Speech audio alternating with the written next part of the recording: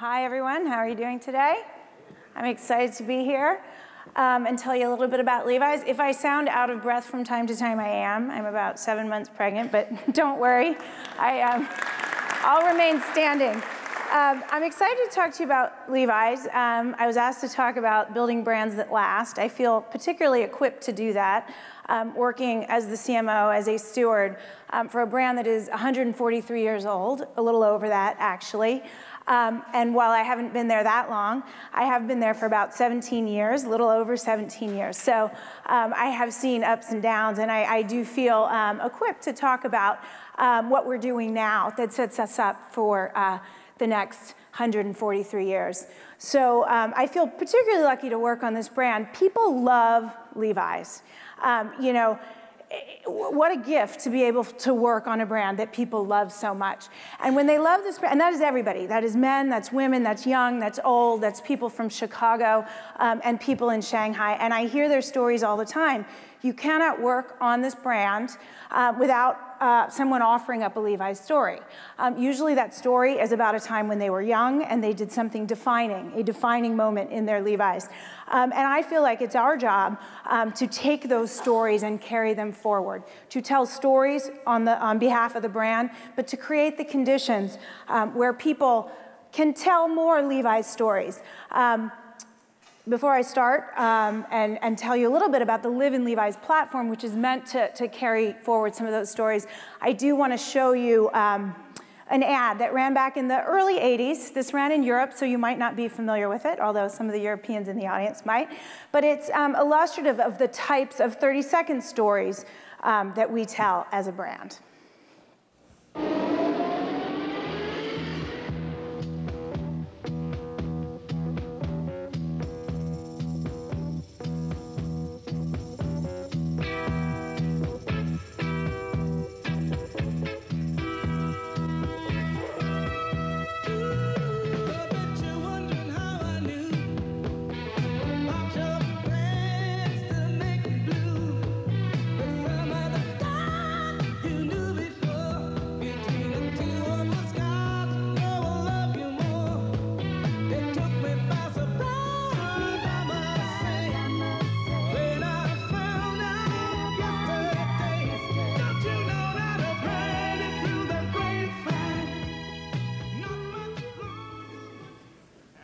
Levi's 501.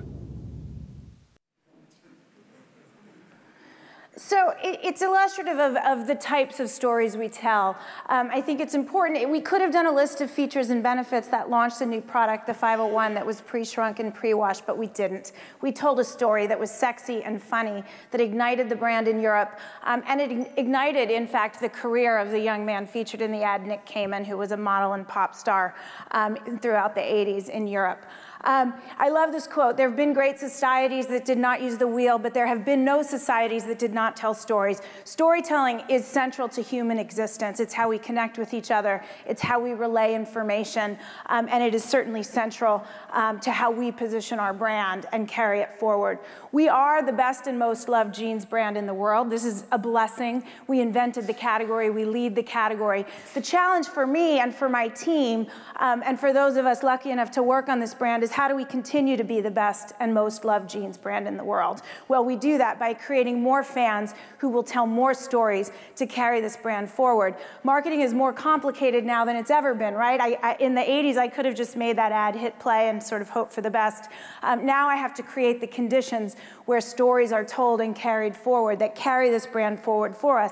It's not really a new idea, though. People have been telling stories about brands and about Levi's in particular for over 143 years. The way they get to tell those stories and telegraph them is much different now, but it's not really a new idea. We are the youngest, oldest brand in the world. We're 143 years old, and yet we have the spirit and the soul of a 19 year old. That's this amazing um, gift, as I said.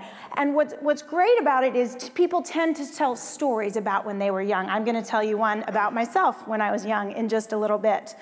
Um, this is the sort of marketing pillar slide. This is the, the boring marketing pillar slide. Everything we do does these three things. Asserts denim leadership. As the leader of the category, that's our obligation to always lead the category with innovation. Authentic self-expression, that's our higher purpose. That's what we bring to the world that is more than what we make.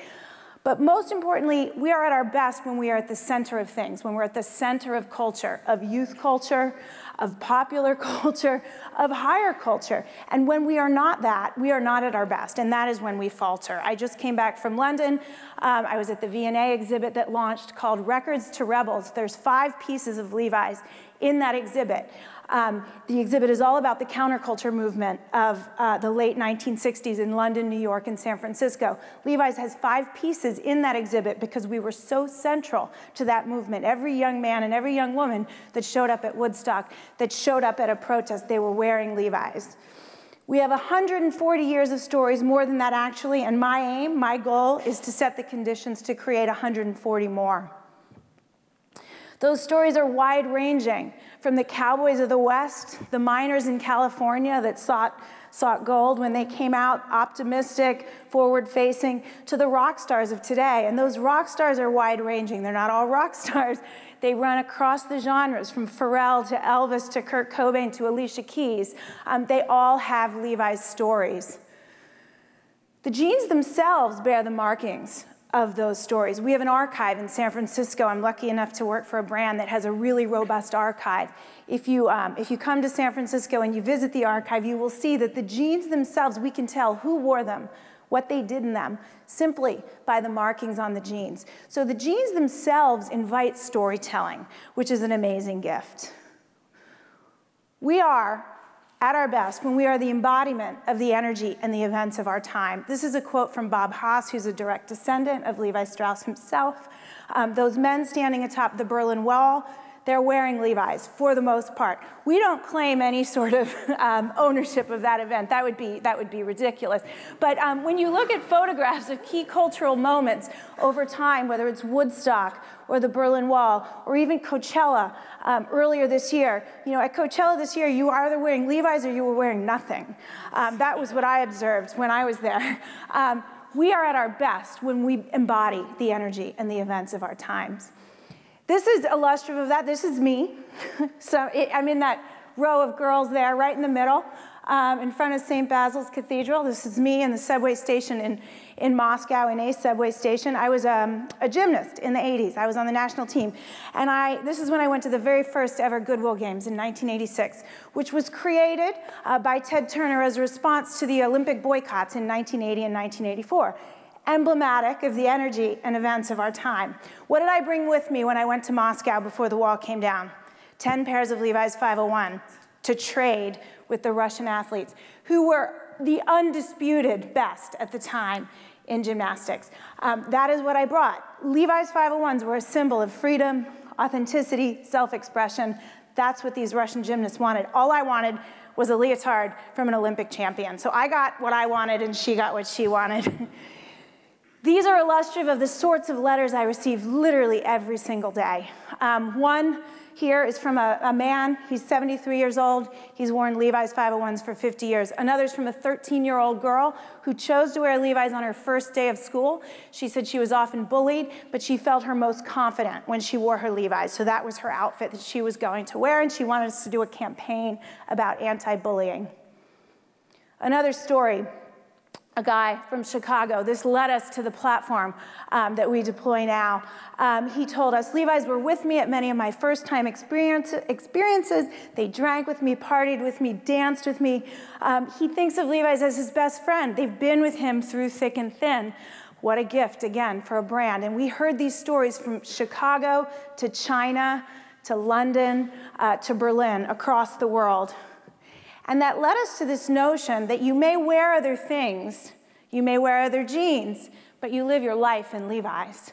The love and the bond that people feel with their favorite pair of Levi's is truly remarkable, and those are the stories that we seek to tell. Our mission is to capture and tell these stories everywhere, and to help fans create new Levi's stories every day, and of course, to create new fans every day. The platform that we put into the market, this idea, you could call it a tagline. I believe it's more than that. It informs everything we do every single day. It informs the products we make, um, as, as well as the way that we communicate about them, as well as how we show up at work every day as an employee population. This idea is live in Levi's. Um, we work with a lot of artists, music, musicians, across genres, across the world. Um, one artist that we've been working very closely with for the last year and a half is Alicia Keys. Um, when, we, when we met with her, it was important to us um, that she have her own Levi's story, and she did indeed. Um, again, you don't have to feed people. They all have memories of Levi's. Uh, we went in with a script when we were going to shoot the ad. We didn't need it. She had so much to say about her own experiences with Levi's. This is just a short snippet of that. We have long form videos um, as well, but this is the 30 second ad that's running now. All women are naturally badass. All women are so powerful and so incredible and so unique. I find that when I see women that are just comfortable in their skin, whoever that is, however that is, in whatever way that manifests itself, it's beautiful. I'm Alicia Keys, and this is how I'm living in Levi's. If you haven't seen her on The Voice, you should watch. She's amazing. Um, she truly is the embodiment of authenticity and self-expression um, and such a great partner for us. And you know, when we when we talked to her at the very beginning, we asked her to tell us a Levi's a memory, and she talked about how when she was young and growing up in New York, um, everybody wore Levi's, and she had observed that across all of these different groups, cross-culturally, um, the punks to the b-boys to the skaters, they all wore Levi's. Anyone who was authentic and truly themselves wore Levi's, and they wore them in their own way, and that's what she wanted. Um, and she couldn't afford Levi's at the time, um, but that's what she wanted. She, she, she strived for that, and um, it just felt like such an authentic partnership and an authentic connection um, that we worked with her. Uh, we continue to work with her, and she continues to tell her stories about Levi's. Um, I'm going to end with a little bit about uh, the Levi's Stadium. Um, we do have a naming rights deal uh, with the 49ers in Santa Clara County. Um, obviously, the 49ers play there. Uh, beyond that, there's concerts and all sorts of events throughout the year. Um, the, the idea behind the stadium, and the reason we did this is that through the stadium, we create more Levi's stories. We create more fans. We create more experiences. Um, I was just there over the weekend. Um, I took my 13-year-old son to see um, Beyonce on the Formation Tour. I now have more Levi's stories. He now has more Levi's stories. It was amazing. It was mind-blowing. As many of you know, uh, the Super Bowl was um, at Levi's Stadium. Um, in February of this year, which was, you know, a landmark watershed moment for us. Um, Beyonce introduced formation, the Broncos won, um, and many, many more people created Levi's memories. And with that, I want to show you a little video that recaps um, the Super Bowl experience for us.